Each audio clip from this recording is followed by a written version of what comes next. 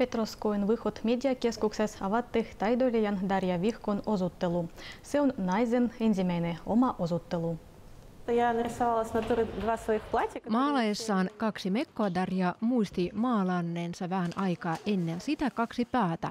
Kun tausta oli valittu, eri osat pääsevät yhteen kollaasiin. Taiteilija tykkää maalata ihmisiä ja lintujakin. Niin hän liimasi päälle myös linnun. Maalaan joka päivä ystävieni kanssa. Maalaan sitä, mitä mieleeni on tullut. En suunnittele mitään etukäteen.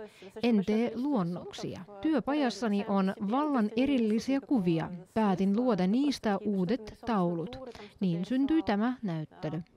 Kollaasi on vanha tekniikka. Tavan mukaan sen aineksia leikataan muun muassa lehdistä. Darja Vihko maalaa ainekset itse.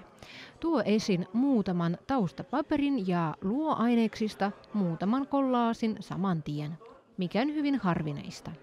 Darja on vaikka hyvin nuori taiteilija, mutta mielestäni hän on hyvin lahjakas. Ja tämä, uh, tämä ensimmäinen hänen, hänen oma näyttely, mutta se näyttää, että hän on todellakin lahjakas taiteilija. Ja tässä on hänen tarinoita, kolaaseja. Ja luulen, että tulevaisuudessa toivon ainakin, että hän äh, liittyy meidän taiteilijaseuraan. Darjan kollaaseihin tutustuu, onko se ollut unta nimesessä näyttelyssä, joka on esillä Vihat Mediakeskuksessa marraskuun 19. päivään mennessä. Evgenia Marjonkin ja Vitali Poltinin, Alina Malsheva, viestit Karjala Petroskoi.